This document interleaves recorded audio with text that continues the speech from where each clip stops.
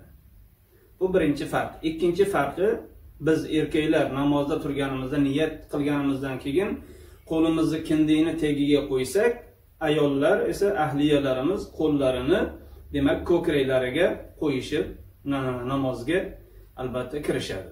Uchinchi farq qo'lini demak yengidan chiqarishlikka yengidan chiqarib ochishlikka harakat qilmaydi. Imkon qadar yengi bilan qo'lini yopishlikka harakat qilib qo'lini yengidan chiqarmaslikka harakat qilishligi lozim bo'ladi. To'rtinchi farq demak rukuga borganda ayollar biz erkaklar barmoqlarimizni rukuda tizzaga barmoqlarimizni ochib tizzani ushlaydigan bo'lsak ayollarimiz barmoqlarini ochmasdan ya'ni panjalarini ortiqcha yozmasdan ruku qilishliklari. Beshinchi farq esa rukuga borgan paytida demak erkaklarga o'xshab ayollar juda pastga engashmaydi. Ya'ni rukuga moil sifat engashsa kifoya qiladi.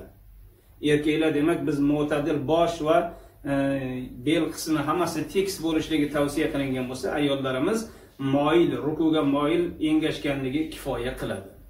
Va oltinchi farq demak chig'anoqlari rukuda turgan paytida demak e, bu nimalariga tegib turishligi ya'ni biqinlariga ayollarniki.